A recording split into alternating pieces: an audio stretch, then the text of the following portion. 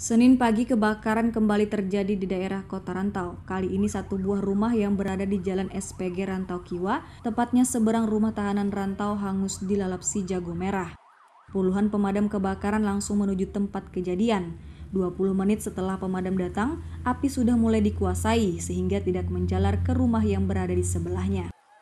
Satu buah rumah yang diketahui milik Haji Sumardi, seorang pengusaha gipsum ini habis terbakar dalam keadaan kosong. Satu unit sepeda motor, dua buah televisi, dan laptop tidak bisa diselamatkan.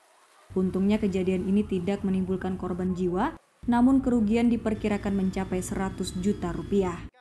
Kapolsek Tapin Utara Ibtu Salahuddin Kurdi menghimbau agar masyarakat bisa lebih waspada terhadap musibah kebakaran. Warga juga diminta untuk berpatroli setiap malam dalam rangka mengantisipasi adanya kejadian kebakaran di daerah Kabupaten Tapin.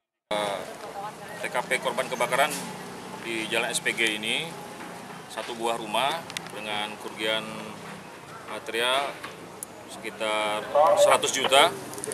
Satu buah satu unit sepeda motor Astra. Eh, dua buah TV komputer laptop yang didata. Di dalamnya itu banyak data karena korban ini banyak berusaha di bidang Gibson. Selanjutnya kami sebagai Kapolsek Tapin Utara yang baru eh, menekankan kepada warga sekitar wilayah Tapin Utara ini. Agar selalu waspada karena ini sudah masuk musim kemarau.